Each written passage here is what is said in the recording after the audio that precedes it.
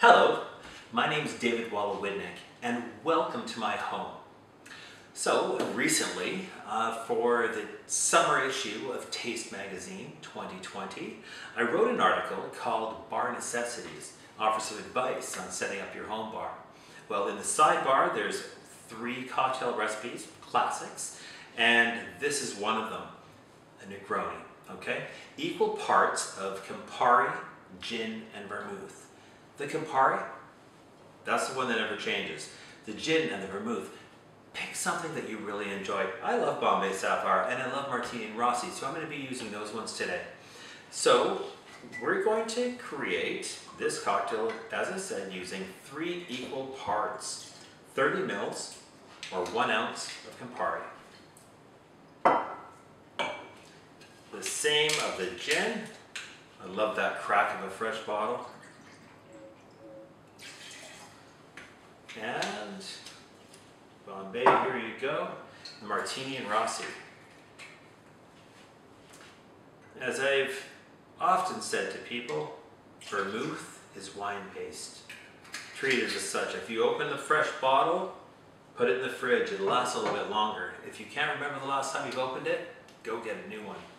So now we've got three equal parts there. The Campari, the gin, the vermouth.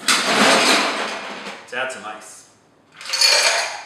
I always like adding ice afterwards because then I can control the dilution rate.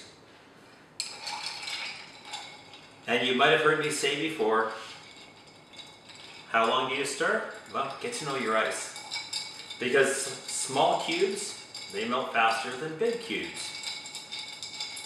Once I feel like I'm nearly there with both chilling and dilution, I'll check it, taste it a little, Sometimes I use a tasting spoon, other times I'll just go like that, put a couple of drops. Mmm, that tastes great. Now I put this on ice, but I don't necessarily want to put that ice in the glass. For no other reason than I've tempered that ice. I've warmed it up a little bit. I'm going to put some fresh ice here. It's a little bit colder. I'm going to strain that into the glass. I'm using a Hawthorne strainer today. You could use a julep strainer as well. Oh, delicious Negroni. And classically, you're going to use an orange zest or an orange slice. It's got some pith on the back side of that. I'm going to slice that off. I've got a nice sharp serrated knife. Very carefully, slice off that pith and just trim it up to make it look nice. Now if I squeeze it, it expresses the oils of the orange right over the surface of the glass.